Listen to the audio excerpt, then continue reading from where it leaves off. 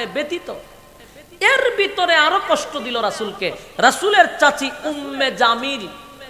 সে কি করত? প্রতি রাত্রে রাসুলের কণ্ঠের তেলাওয়াত শুনত। কি করত? রাসুল যে তাহাজ্যতে তেলাওয়াত করত, এই মহিলা গিয়া শুনত। রাসুল যখন তেলাওয়াত করতো, প্রতিদিন শুনতো, কিন্তু রাসুল কয়েকদিন যাবৎ তাহাজ্যতে যাচ্ছেন না। আর এই মহিলা রাসুলের কোরআন তেলাওয়াত শুনতে পারতেছে না। তখন একদিন সকালে কয়, মোহাম্মদ, তোমার কাছে যে একটা শয়তান আইতো, এখন কি আর আসে না? নওজুবিল্লা আসেনি শয়তান বলতে জিব্রাইলকে বলছে। শয়তান বলতে কাকে বলছে? জিব্রাইলকে বলছে, তোমার কাছে যে একটা শয়তান আসতো, এখন দিয়ে আর আসে না? ঘটনা কি? নাউজুবিল্লাহ, তোমার আল্লাহ কি তোমার ভুলে গেছে? মানে টিটকারি মস্কারি শুরু করল। রাসূল ব্যথায় ব্যতীত হইয়া কান্না শুরু করছে। আল্লাহ রাব্বুল আলামিন সাথে সাথে জিব্রাইল আলাইহিস সালাতু সালাম কে বলেন, জিব্রাইল রে, আমার বন্ধুর চোখের পানি আমি আল্লাহ বরদাস্ত করতে পারি না।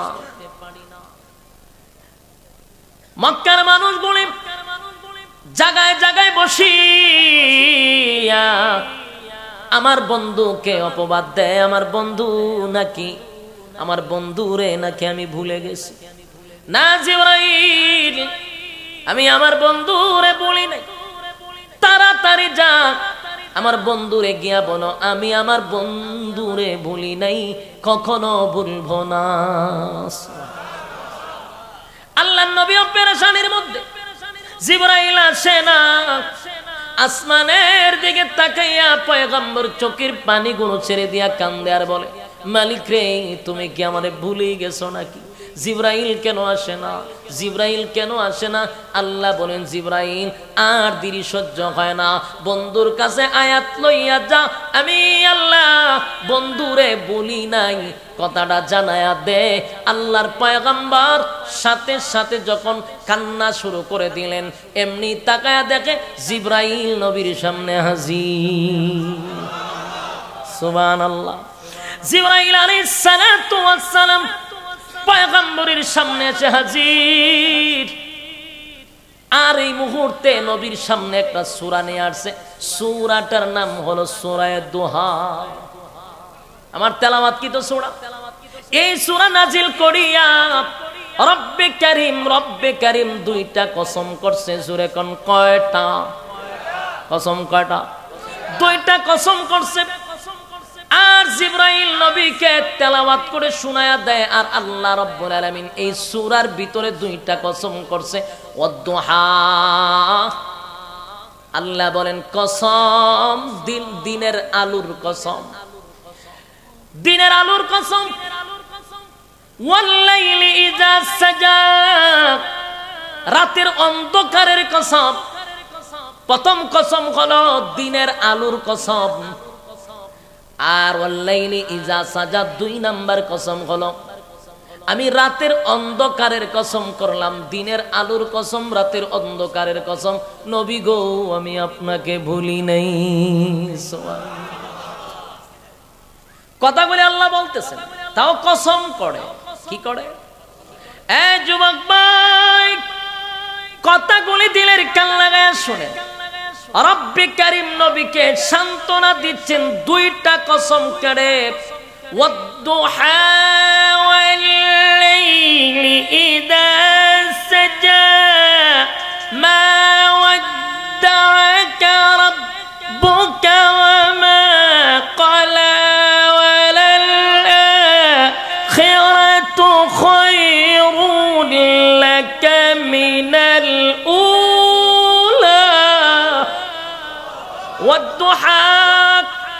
পয়গম্বর দিনের কসম, দিনের আলুর কসম সাজা।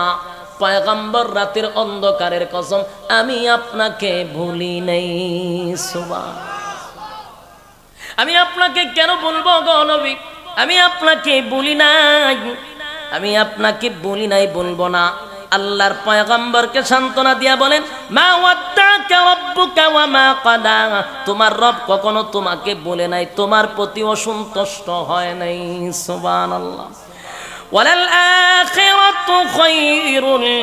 মিনাল উলা। নিশ্চয়ই তোমার যুগ বড় উত্তম যুগ। তোমার আগে পড়ে, এর থেকে উত্তম যুগ আর কোথাও হতে পারে না।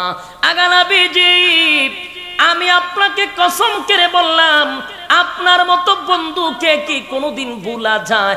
আমি আপনাকে বলতে পারি না। এই জন্য তাফসির কারকগণ বিভিন্ন ব্যাখ্যা করছেন, ওয়াদ্দুহার ব্যাখ্যা আরও করছেন। কোন সময় ওয়াদ্দুহার ব্যাখ্যা করতে গিয়া বলেন, ওয়াদ্দুহা দিনের আলোর যেমন কসম করছে আল্লাহ, ওয়াদ্দুহার ব্যাখ্যা করেন। এই ব্যাখ্যায় আসেন নবীর চেহারার কসম করছে আল্লাহ। নবীর চেহারার কসম করছে। ওয়াদ্দুহার ব্যাখ্যা করছেন নবীর আপনার সুন্দর চেহারার কসম। ওয়াল্লাইলি যা সাজার ব্যাখ্যা করছেন যে আপনার কালো চুলের কসম। কিতাব বুঝুন আপনার আর ইমানের জজবা বড় কম, আওয়াজ বড় কম। বলুন, নবীর চেহারার কসম করছে কে? কীভাবে কসম করছে আগালাবিজি আপনার সুন্দর চেহারার কসম, যিনি বানাইছেন আমার আল্লাহ, যিনি বানাইছেন তিনি বলেন আপনার সুন্দর চেহারার কসম। এবং বলেন আপনার সুন্দর, আপনার কালো চুলের কসম, আপনার কালো চুলের কসম। তার মানে আমার নবীর চেহারাটা সুন্দর, এটা নিজেই আমার আল্লাহ বলেছেন। আর নবীর সুন্দর চেহারার কসম আমার আল্লাহ করেছেন। এক বাজারের ভাই দিলের কান লাগায় শুনে চারা নবীর কত সুন্দর ছিল গো। আমার আল্লাহ বলেন, আমার সৃষ্টি জগতের মধ্যে আমার নবীর চেয়ে সুন্দর আমি কাউরে বানাই না। সুবহানাল্লাহ। নবীর চেহারা মুবারকের অনেকগুলা অনেকগুলা হাদিস আছে। এক একটা অঙ্গ পতঙ্গের ব্যাখ্যা দিছেন।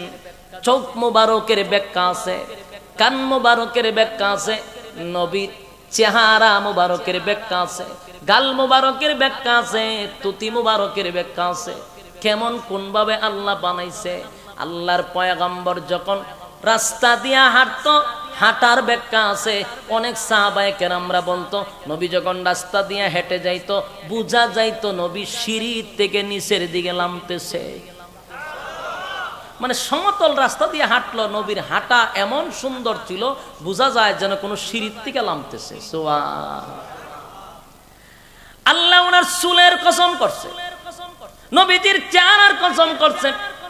আপনি, আমি জানি পায়গাম্বর ইউসুফ আলাইহিস সালামকে আল্লাহ সুন্দর করে বানাইছে। পৃথিবীর অর্ধেক সুন্দর ইউসুফ আলাইহিস সালাতু ওয়াস সালামকে আল্লাহ দিছে। ইউসুফ নবীরে সুন্দর বানাইছে। ইউসুফ নবীর চেহারা মোবারক দেইকা মিশরের নারীরা হাত কাইটা ফালাইছিল। এটা আপনারা জানেন। কিন্তু হাত যতক্ষণ কাটছিল, ইউসুফ নবীর দিকে তাকাইয়া ইউসুফ নবী চলে গেছে, তারপরে টের ভাইছে জাত কেটে লেছে এর আগে বলতে পারে না, কারণ চেহারার আকর্ষণ সুবান ইউসুফ নবীর আমার মালিক এত সুন্দর করে বানাইছে।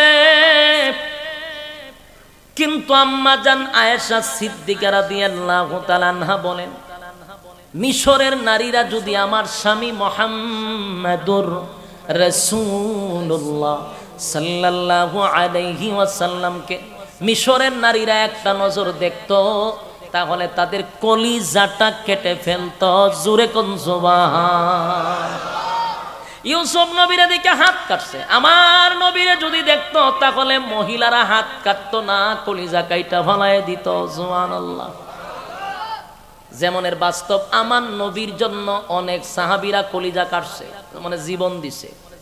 ইউসুফ নবীর চেহারা দেখে কেউ জীবন দেয় নাই গো। আমার নবীর চেহারা দেখেও জীবন দিয়া দিছে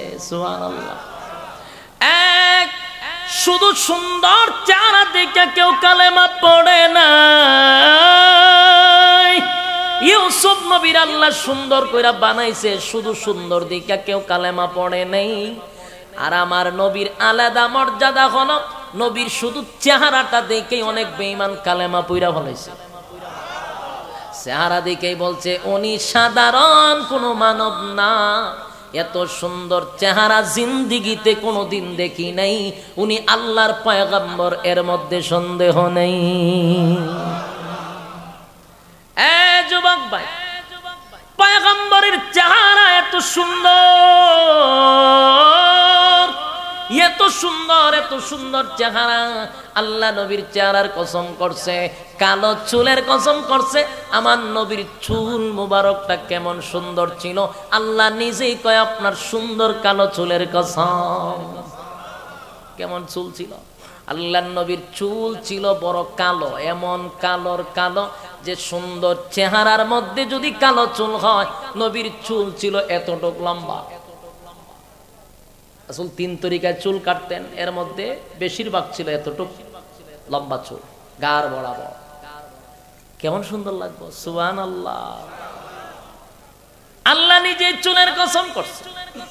এমন সুন্দর চুল, নবীর কসম কাইরা কয়, বন্ধু গো, আপনার চুলের কসম, চেহারার কসম, আমি আল্লাহ আপনাকে ভুলি নাই। সোয়ান আমি আপনাকে বলি না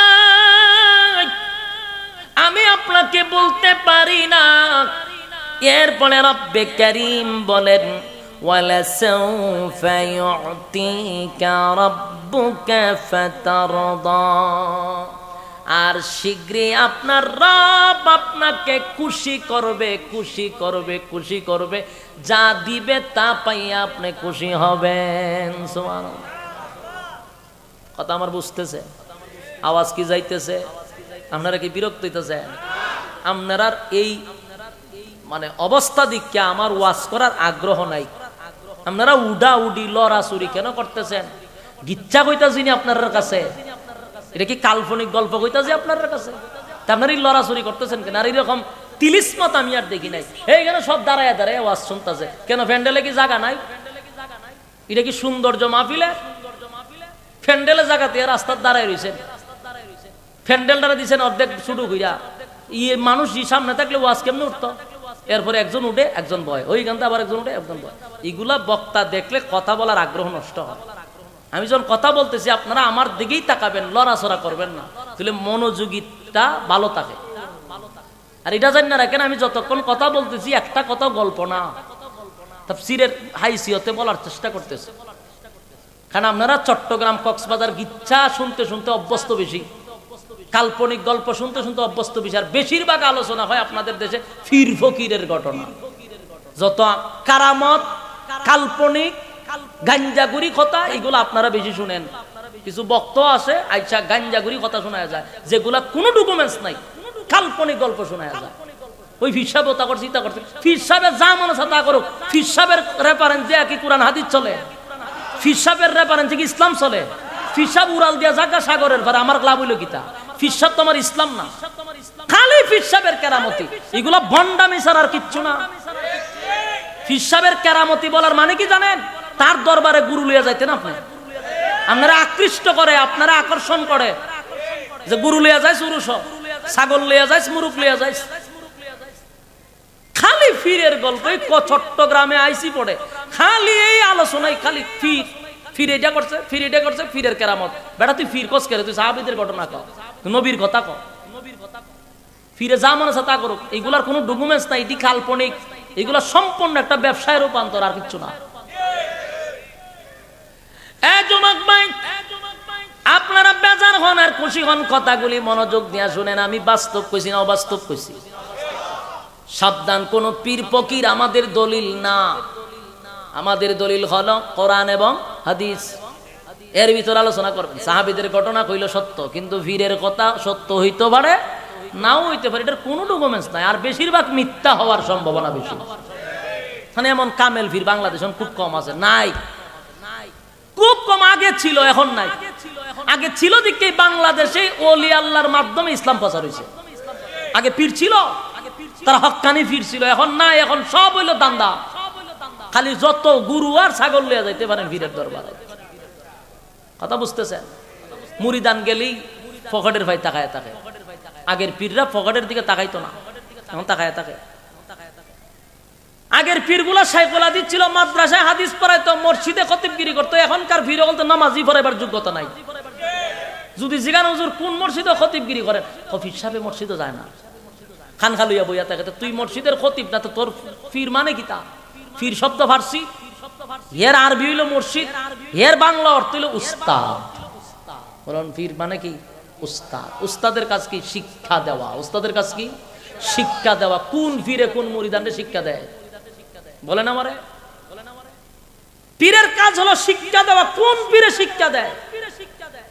ফিরের কাছে মুড়ি দেওয়ার পরও মা বাপরে বাদ দেয় না। তাহলে কি শিখাইছ তুই? তোর কাছে মুড়ি দেওয়ার পরে মা বাপে বাদ দেয় না তুই কি শিখাইছস? তোর তো দরকার ছিল, বাবারে, আমার কাছে গুরু নাই না, মা বাপরে গুরু খাওয়া। কাজ হইব। আমারে ছাগল না দিয়া তোর মা বাপরে খাওয়া, তোর মা বাপের মতো বড় ফির আল্লাহর জমিনে কেউ নাই। আমরা দেশের গড়ের সবচেয়ে বড় ফির তৈয়া যায় জড়া ল্যাংটার কাছে। মা বাপের চিকা বড় ফির আল্লাহর জমিনে কেউ আসেনি। হ্যাঁ কোরআন আমার সামনে কোন আলেমরা জিজ্ঞাসা করেন, ফিরের দোয়া কবুল কোনো গ্যারান্টি আছে? কোনো দলিল আছে? আমি বক্তারা জানছেন আমার দোয়া কবুল, এটার কোনো গ্যারান্টি আছে? নাই। কিন্তু মা বাপের দোয়া হান্ড্রেড পার্সেন্ট কবুল, এটার গ্যারান্টি আছে। হাত তুলতে দেরি, কবুল হইতে দেরি আসল ফির তৈয়া, যায় ল্যাংটার জড়ার কাছে। আল্লাহ আমাদের হেফাজত করুক আমি এই কথাগুলি সবার কাছে ভালো লাগবে না। এই কথাগুলি সবার কাছে মজাও লাগবে না। কারণ আমাদের দেশের ফিরগুলি, মুড়িদানগুলার মাথার ব্রেন এমন ভাবে ওয়াশ করছে। আমরা যতই বোঝানো হোক আর লাভ হবে না। এই জন্য আমি কথাগুলি বলতেছি মনোযোগ দা শুনেন না বিরক্ত হইতেছেন আপনারা লক্ষণে হয় বিরক্ত আচ্ছা বেশি জমার করতাম না তুইলে শেষ করে লইতেছি আল্লাহ রাব্বুল আলামিন বলেন আমি শীঘ্রই আপনাকে খুশি করব কে বলে ولسوف يعطيك ربك فترضى আমি আপনাকে শীঘ্রই খুশি করব। পয়গম্বর, চিন্তার কোনো কারণ নাই। আমি আপনাকে দিব, আমি এমন ভাবে দিব, আপনি নবী খুশি হয়ে যাবেন, সুবহানাল্লাহ। কোন সময় দিছিল? মেরাজের রজনীতে দিছিল। কোন সময় দিছিল? ওই যে বলছিল, শীঘ্রই আপনার রব আপনাকে খুশি করবে। তাই নবীরে খুশি করার জন্য নবী আঘাত প্রাপ্ত নবীর মনটা ব্যথায় ব্যতীত ছিল। পনেরো দিন পর্যন্ত জিব্রাইল আসে নাই। কত কথা শুনতে হয়েছে আল্লাহর পয়গাম্বরের। তাই আল্লাহ খুশি করার জন্য পয়গাম্বরকে সাত আসমান টপকাইয়া আর সাজিমে নিয়া, বন্ধুর পাশে বন্ধুরে বসাইয়া, আমার আল্লাহ খুশি কইরা দিছে। আল্লাহ বলেন, নবী গো, আপনাকে আমি আলাদা মর্যাদা দিছি। সমস্ত নবী কুলের সম্রাট বানাইছি। আমার নবীরে বাইতুল মোকাদ্দাসে নিয়ে গেল। মসজিদে আকসা থেকে, মসজিদে হারাম থেকে মসজিদে আকসা। বাইতুল মোকাররম, বাইতুল বাইতুল্লাহ থেকে ডাইরেক্ট বাইতুল মোকাদ্দাস মানে জেরুজালেমে নিয়ে গেছে। সেখানে নিয়া মসজিদে নবীরে ইমাম বানাইছে। নবীজি নামাজ পড়াইছেন দুই রাকাত। নামাজের পরে জিব্রাইল বলেন, জানেননি আপনার পিছনে কারা নামাজ পড়ছে কোন না কে পড়ছে জানেননি কোন না কে পড়াইছে? আপনি পড়াইছেন, কিন্তু নামাজ আপনার পিছনে কে পড়ছে জানেন? কো, আমি জানি না। আপনার পিছনে নামাজ পড়ছে দুই লক্ষ চব্বিশ হাজার নবীরা সুলগণ আপনি ইমাম আর সমস্ত নবী রাসূলগণকে আমার আল্লাহ আপনার পিছনে মুসল্লি বানাই আপনার ইমাম বানাইছে।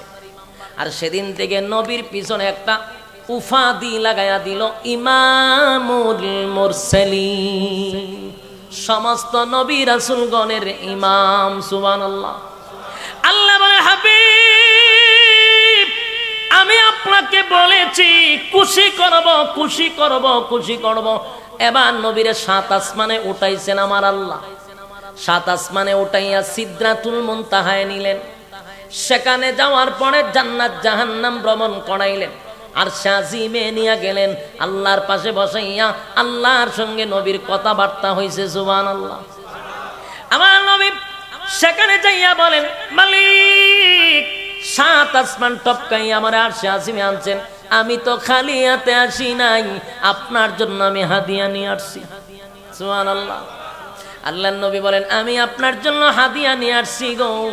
কি হাদিয়া নিয়ে আসছেন নবী বলেন, আত্তাহিয়াতু লিল্লাহি ওয়াসসালাওয়াতু ওয়াত-তাইয়্যিবাত আল্লাহ নবী বলেন, আমি নবীর জবান দ্বারা, আমি নবীর শরীরের দ্বারা, আমি নবীর অর্থের দ্বারাই যত এবাদত করছি, সব এবাদত আপনাকে আমি আমি রাসুল হাদিয়া দিছি।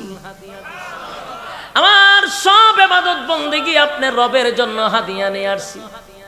সুবহানাল্লাহ। আসসালা, আল্লাহ বলেন আসসালা। নবী যখন হাদিয়া পাইছেন, আল্লাহ নবীর আবার দিছেন, আসসালামু আলাইকা আইয়ুহান নাবিয়্যু ওয়া রাহমাতুল্লাহি ওয়া বারাকাত। সুবহানাল্লাহ। নবীর পক্ষ থেকে হাদিয়া পাইয়া আল্লাহ বলেন, আমিও তো খালি দিতাম না, আপনারে সালাম দিলাম, রহমত দিলাম, বরকত দিলাম, সুবহানাল্লাহ। আমার নবীর কত মায়া রে। সেদিন আমার নবী সালাম আর বরকতার রহমত পাইয়া একা নিলেন না। আল্লাহর নবী বলেন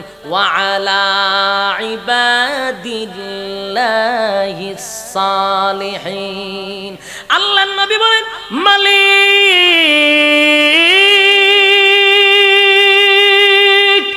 আপনার পক্ষ থেকে আমি সালাম, রহমত আর বরকত একা গ্রহণ করলাম না, একা গ্রহণ করলাম না। আমি নিজেও নিলাম গো।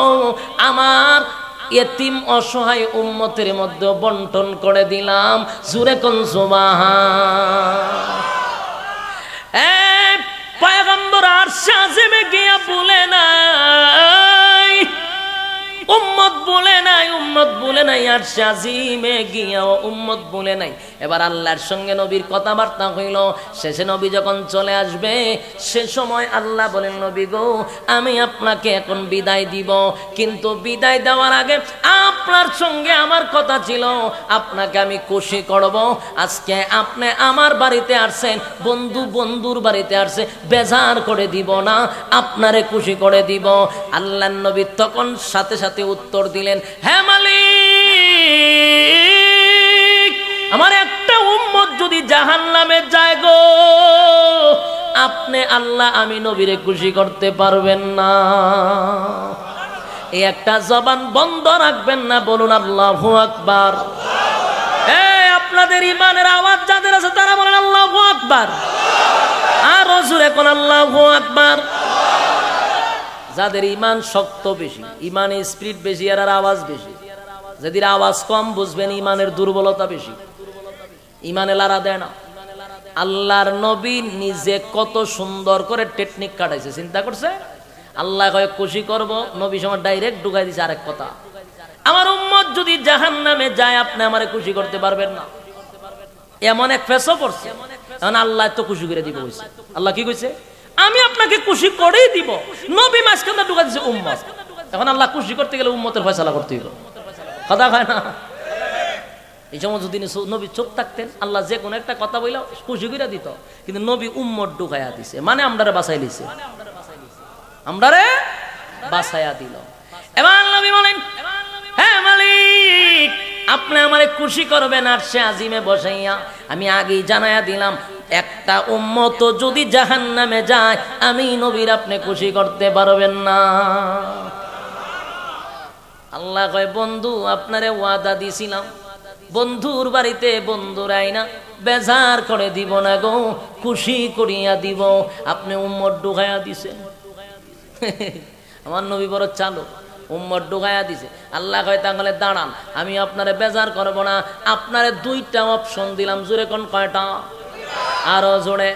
আমি আপনাকে দুইটা অপশন দিলাম গণবী দুইটা অপশনের মধ্যে আপনি একটা নিতে হবে। কয়টা? দুইটার মধ্যে একটা নিবেন, দুইটা নেওয়া যাবে না, একটা নিবেন। আপনাকে প্রথম অপশন দিলাম, আমি আপনার উম্মতের মধ্যে অর্ধেক উম্মতকে জান্নাত দিব আর অর্ধেক উম্মতকে জাহান্নামে দিব। এটা আপনার একটা দিলাম। আর একটা অপশন হলো, আপনার নেককার উম্মতকে আমি জান্নাত দিব, বদগার উম্মতকে জাহান্নামে দিব। এই, কোয়েল আছে আশেপাশে? অবশ্যই আছে কয়েল, কোন জায়গায়? অন্তত এক মাইল দূরে নেন। কয়েল কইলাম না কয়েল কেন রাখতেন না। সব বনাশ করে লেছেন তো। বন্ধ কি দেন সরাই দেন। কয়েল থাকলে বক্তা ওয়াজ করতে পারব না। কয়েলকে আপনারা ব্যবহার করেন এখন? পঞ্চের মাহবিলের সময়। কয়েল দিয়া ওয়াজ শুনে তো আপনার মনোযোগ নাই। কি আরামের ওয়াজ শুনতেছে কয়েল লাগাই যাতে মশাই ডিস্টার্ব না করে। হেতে যে বক্তারে ডিস্টার্ব করতেছে, এটার বিচার দিব কেনা? যুবক ভাই, বলুন, আল্লাহ কয়টা অপশন দিছে? দুইটার মধ্যে অর্ধেক উম্মত জান্নাতে আর অর্ধেক উম্মত জাহান্নামে। দ্বিতীয় অপশন হলো, নেককার উম্মত জান্নাতে দিব, বদগার উম্মত জাহান্নামে দিব এখানে শেষ না। কথার ভিতরে হয়ে গেছে। এটা আরেকটা বিষয় হলো, এই নেককার আর বদগারের মাঝখানে আপনার আরেকটা সুপার পাওয়ার দিব। সুপার পাওয়ার হলো, বদগার উম্মত যে জাহান নামে যাবে গো নবী, আপনাকে পাওয়ার দেওয়া হবে সুপারিশের এই বদগার উম্মতের মধ্যে যারে ভালো লাগে তারে লইয়া আপনার জান্নাতে যাবে। আপনার কাছে কোনটা ভালো লাগছে? কথা কয় না? দুই নাম্বারটা, কয় নাম্বারটা? দুই নাম্বারটা ভালো লাগছে। নবীও দুই নাম্বারটাই নিছে সুবহান আল্লাহ আল্লাহর পয়গম্বর দুই নাম্বারটাই নিছে।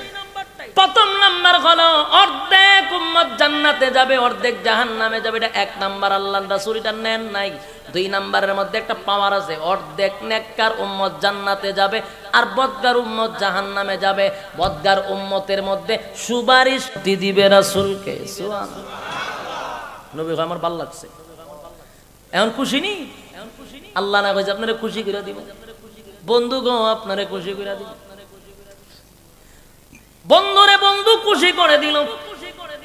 এ যুবক ভাই বন্ধুরে বন্ধু খুশি করে দিছে।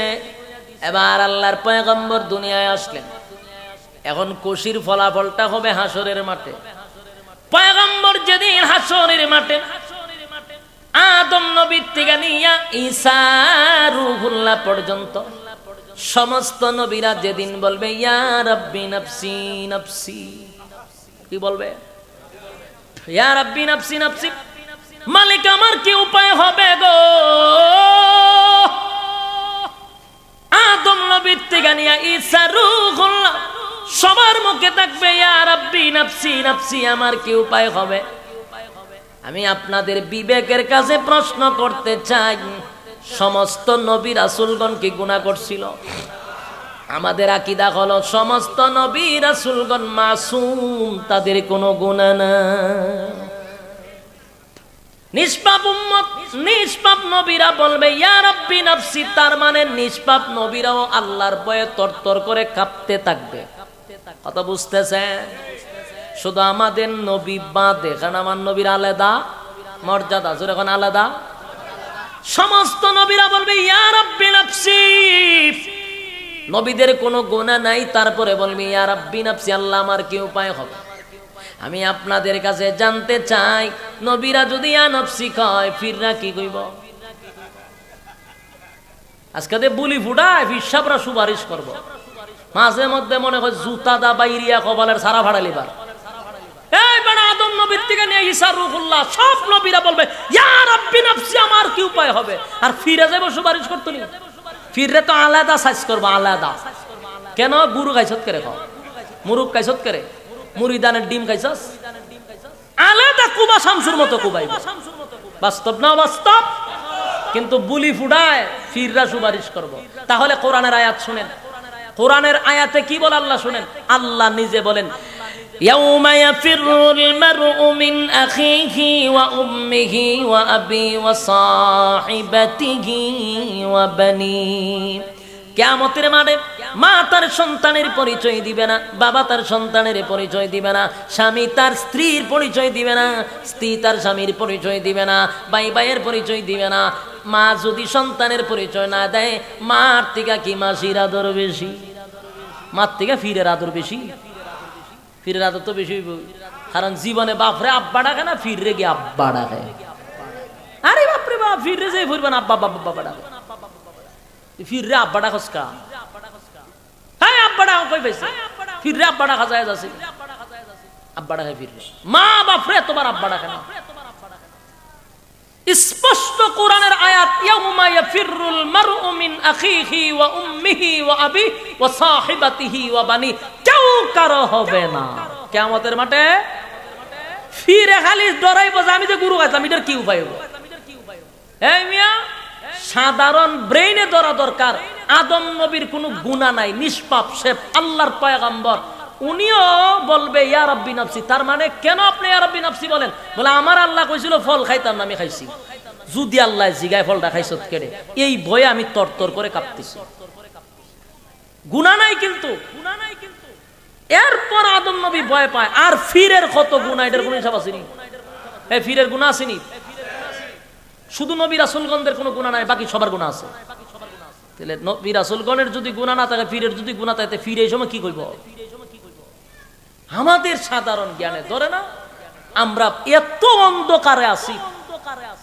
আল্লাহ আল্লাহ আমাদেরকে আল্লাহ হেফাজত করুক। আর কেমনে বুঝতো আমারে বলেন? কীভাবে বুঝতো আমারে বলেন? আপনারা সচেতন মানুষ, আমার কথা কি বিরক্ত হইতেছেন? আপনাদের আজকের মেয়র সাহেব এখানে বসা।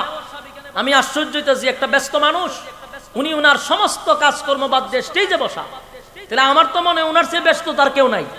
তা আপনারা বইতে অসুবিধা আসেনি উনি যদি উনার সমস্ত ব্যস্ততা নিয়ে এখানে বসে থাকতে পারে, আপনারা এর চেয়ে তো ব্যস্ত না। আমি উনার দিকে তাকাই বয়ান শট করতেছি, লম্বা করব না, বিরক্ত যাতে না হয়। আপনারাও লড়াচড়া করেন, আমি কয়েকটা পয়েন্ট বুঝাইতে চাই। মাথা দিয়া ধরেন আপনারা। ওয়াস্ত হয়, বলুন মানুষ কেমনে পরিবর্তন হইতো? বাংলাদেশে যেই পরিমাণ ওয়াজ চলতেছে বিভিন্ন জায়গায়, কয়টা কোরআনের আয়াত শুনছেন ওয়াজে? ওয়াজের মধ্যে কোরআনের আয়াত নাই, দুই মিনিট ওয়াজ করে জায়গা গানও টান মারে। দুই মিনিট ওয়াজ করে আজকে গানও টান মারে। আমার প্রশ্ন হলো, তোরে আনছি ওয়াজ শোনার জন্য, কোরআন হাদিসের ব্যাখ্যা শোনার জন্য, একটা বিষয়ের উপরে আলোচনা করবি? তুই আজকে আজকে গান। গানো গে কি কয়? প্রেমের বিশ্বে ধরছে।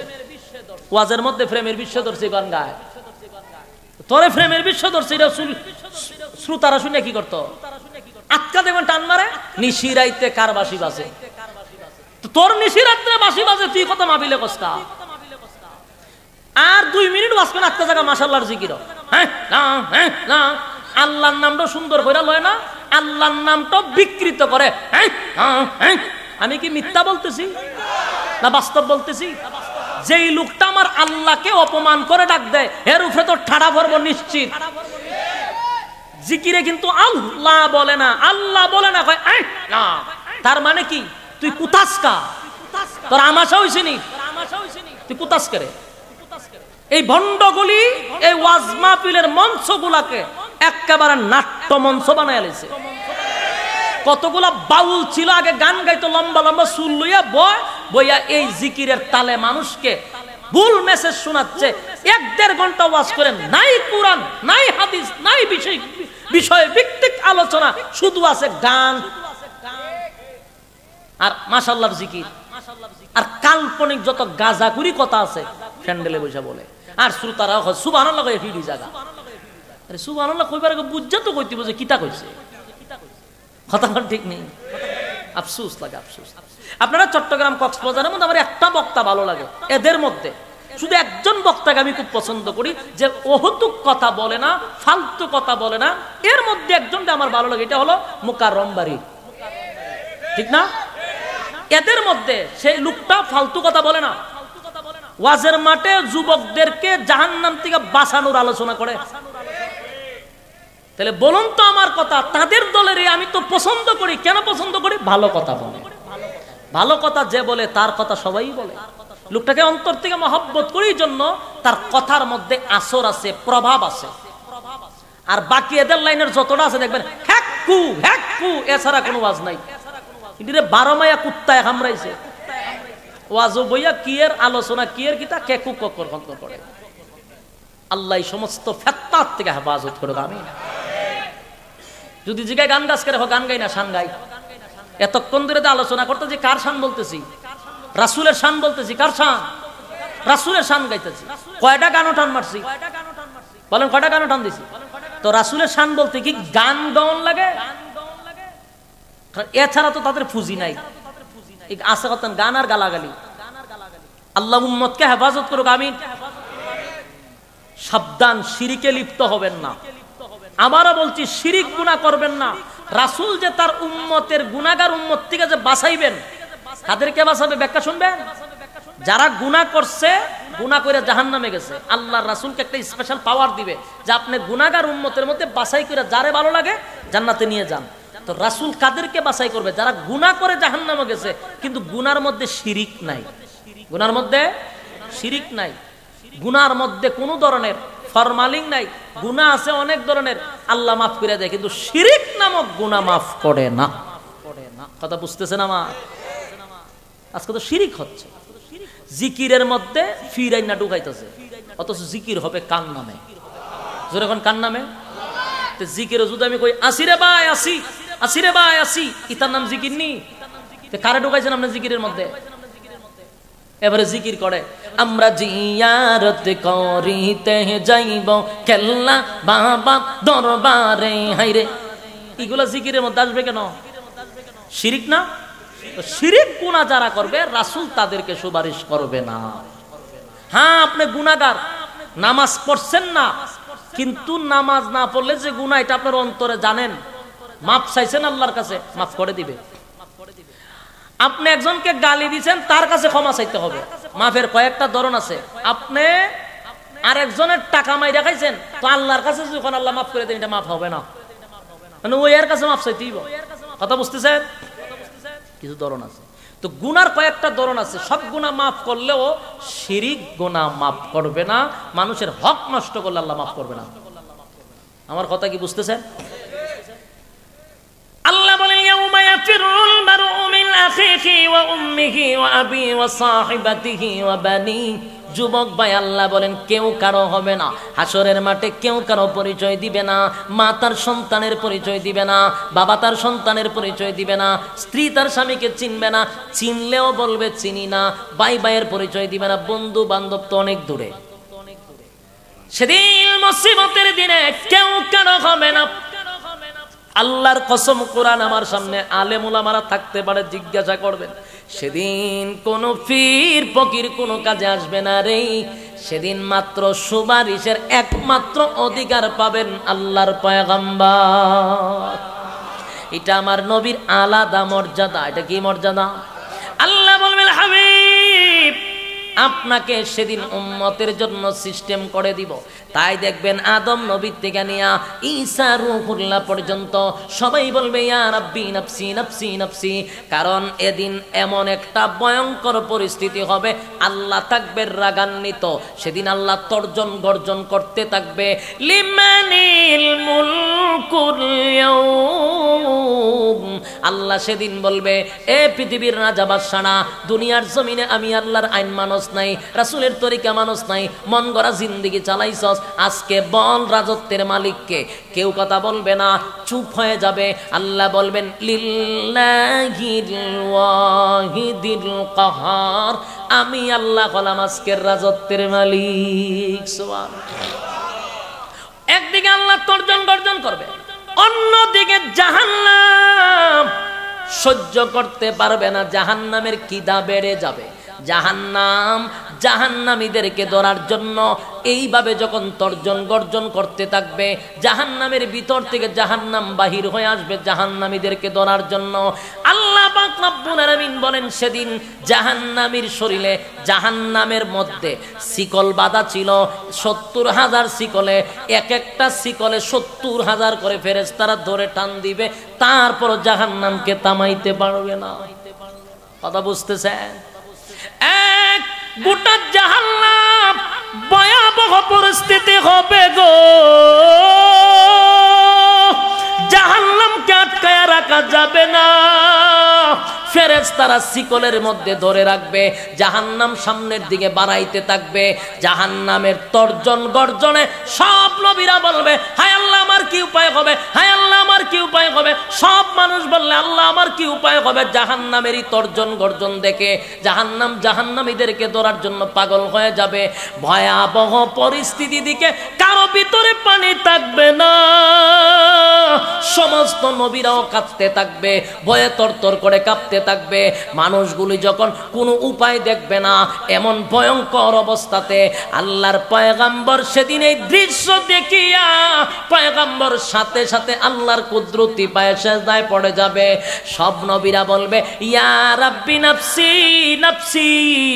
সেদিন আমার নবীর মুখে থাকবে, ইয়া রাব্বি উম্মতি, সুবহান আমার নবী বলবেন সেজদায় পড়ি।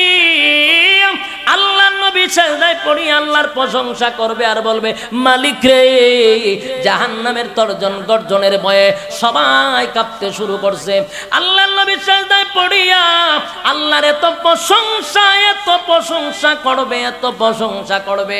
আল্লাহ তোমার নাম রহমান, আল্লাহ তোমার নাম রাহিম, আল্লাহ তোমার নাম গফার আল্লাহ তোমার নাম গফুর, আল্লাহ তোমার নাম রাজ্জাক। এইভাবে একটার পর একটা প্রশংসা করতে থাকবে।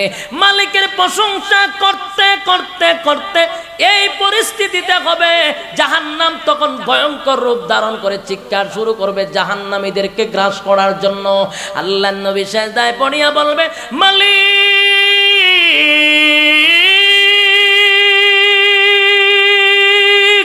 এমনটা কথা ছিল না গো।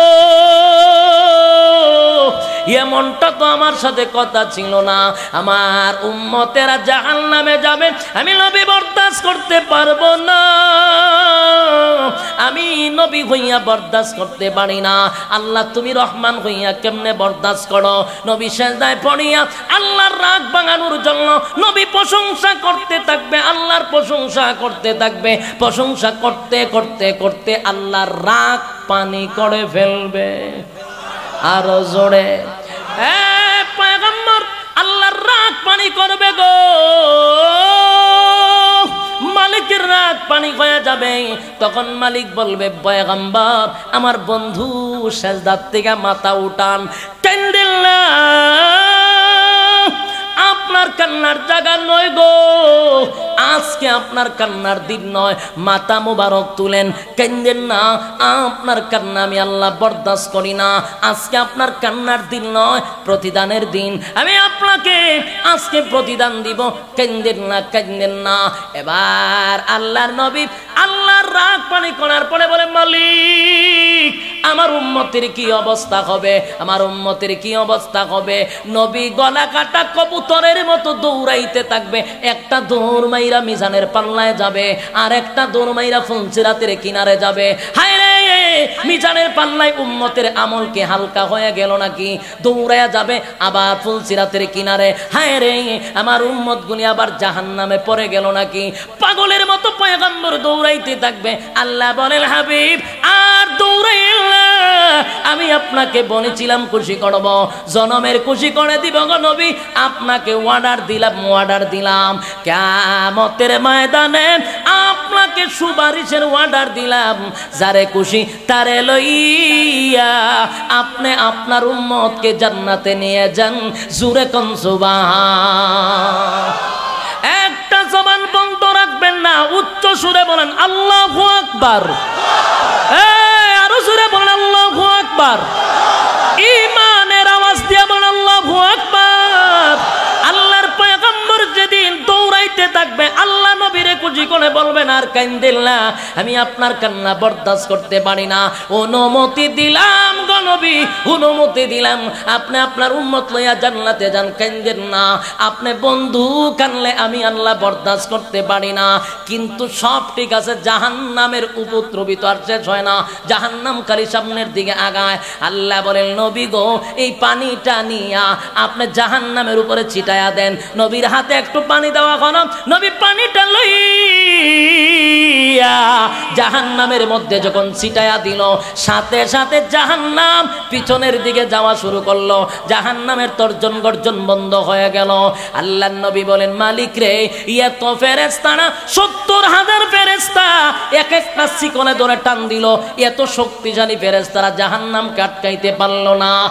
আর একটা মোটো পানি আমি জাহান নামের উপরে ছিটায়া দিলাম। জাহান নামটা পিছনে চলে গেল। জানতে চাই গো, এটা কেমন পানি? হাউজে কৌসারের পানি। না নবী, হাউজে কৌসারের পানি না। মালিক রে জমজমের পানি। না জমজমের পানি না। আবে হায়াতের পানি। না নবী হাবে হায়াতের পানি না। এটা কেমন পানি গো মালিক? যেই পানি দেওয়ার পরে জাহান্নাম পিছনে চলে গেল। আল্লাহ আবার বলেন, বন্ধু, শুনেন, আপনার উম্মতের মধ্যে অসংখ্য উম্মত নজুলের রহমতের সময় তাহাজ্জতের সময় ঠান্ডা পানি দিয়া উজু করে। গভীর রাত্রিতে আমি আল্লাহর কুদরতি পায়ে শেষ দায় পড়ে যাইত। দুইটা হাত তুলিয়া আমার উম্মত গুলি আমার দরবারে জাহান্নাম থেকে বাঁচার জন্য কান্ত আর তাদের চোখের পানিগুলি গড়াইয়া গড়াইয়া পড়ত নবী। সেই পানিগুলো আমি সযত্নে রেখে দিছি। পানিগুলা ব্যথা যেতে দেই নাই। এই পানিগুলো আমি আল্লাহ কুদরতি ভাবে জমায়া রাখছি। আপনার উম্মতির চোখের পানির এত দাম, চোখের পানির এত দাম। এই আজকের এই পানি গোনা জমাইয়া জাহান্নামের উপরে ছিটাইয়া দিছি। তাই জাহান্নাম সেই পানি দেখার পরে দৌড়াইয়া পিছনের দিকে গেছে। জুরে কনসুবাহা এ চোখের পানির এত দাম, চোখের পানির এত দাম। এই জন্য আল্লাহ নবী বলেন কেউ যদি গভীর রজনীতে তাহাজ্যতের সময় নজুলের রহমতের সময়, যেই সময় পশু পাঙ্কিরা ঘুমায়া যায়, মানুষ স্ত্রী পুত্র লইয়া ঘুমায়া যায়, কোনো বান্দা যদি নজুলের রহমতের সময় আল্লাহকে খুশি করার জন্য যায় না মাঝে দাঁড়াইয়া চোখের পানি গুলো ছেড়ে দেয়। আল্লাহ কয়, সব বরদাস্ত করতে পারি। বন্ধুর উম্মতের চোখের পানি আমি আল্লাহ বরদাস্ত করতে পারি না। জুড়ে কনসুবাহা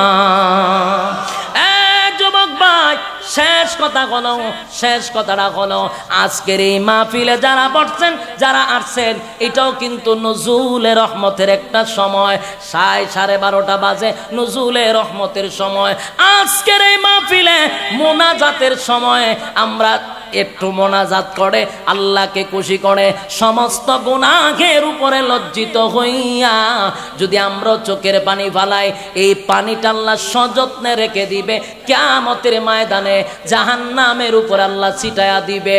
আমরা মোনাজাত করে যাব, কারা কারা হাত তুলে দেখায়া দিই। লিল্লাহে তাকবীর! লিল্লাহে তাকবীর! আল্লাহ সবাইকে কবুল করুক। আমার বলনেওয়ালা শুননেওয়ালা উভয়কে আজকের এই আলোচনার থেকে বুঝার, মানার তৌফিক দান করুক সকলে বলে আমিন। আজকের এই মাহফিলটা যেন নাজাতের জন্য আল্লাহ ফয়সালা করে যে সকলে বলে আমিন। আমরা মোনাজাত করে যাব দুরুশ্বরী পড়েন। আল্লাহ সাল্লি আদা মোহাম্মদ।